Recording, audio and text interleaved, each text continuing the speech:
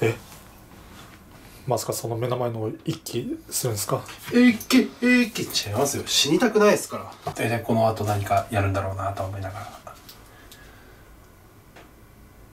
大切じゃんもう絶対もうそういう流れ。早くハンデマッチでございます。はいということでやっていきますよ。今回は何が来ると？甘いもの。じゃないんですね。じゃない。ははい。いでもまあ形状はちょっとまあ2人とも近いものなんじゃないかなっていうことで近いもの？じゃあまず自分が食べるの持ってきますね。はい。お待たせしました。自分はこちらでございます。魚肉ソーセージでございます。ウニソ俺普通のソーセージの長いやつとか。いややっぱり短いですね。ドライソーセージ？お。こちらでございます。カルパス硬いんじゃん。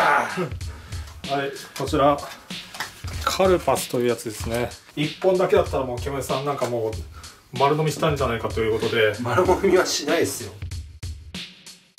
普段食べます？カルパスって。日常的に食うかっていうとちょっウイスキーとかと合わせてるような。とあまあまあまあ美味しいやつですよね。もうこれ皮むかずにもそのまま食えるってやつなんで。しかも木村さんのためにねピリ辛仕様にしましたから。うめえやつ。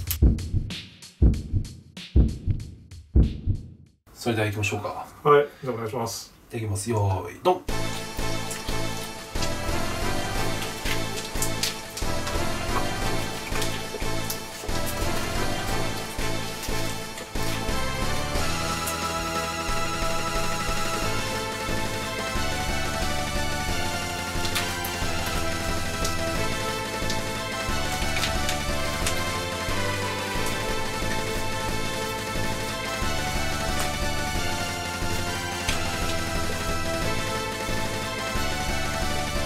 うわ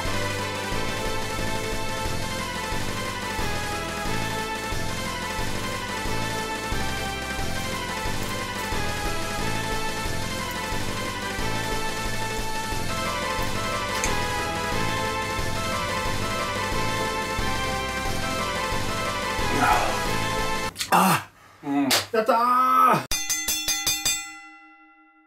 うわすげえここまでピリ辛なカルバスの匂い漂ってくる。食いづらい。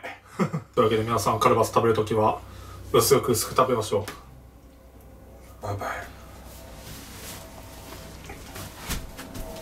いしょもうちょい精神年齢低かったら最初牛肉ソーセージ持ってくるときもうキムさんのここに突っ込もうと思ってたんで